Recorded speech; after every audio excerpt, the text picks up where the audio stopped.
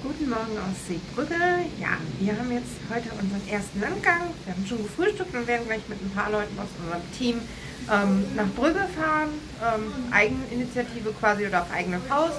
Äh, bevor wir dann heute Nachmittag die nächsten Veranstaltungen haben. Unter anderem gibt es halt ähm, einen Schiffsrundgang von anderthalb Stunden geführten, wie auch immer der aussehen mag. Wir selber hatten ja schon eine Führung hier auf der MSC Euribia äh, damals, die war auch ein bisschen länger. Wir wissen jetzt nicht genau, wie diese Führung dann aussehen wird, aber jedenfalls ist das dann wieder zusammen mit allen, ähm, auch anderen Expedienten, jetzt nicht nur von uns, von TMG. Ja, und da sind wir schon ganz gespannt und ähm, jetzt machen wir uns aber erstmal einen hoffentlich schönen Vormittag in Brügge mit den anderen und dann nehme ich euch natürlich mit.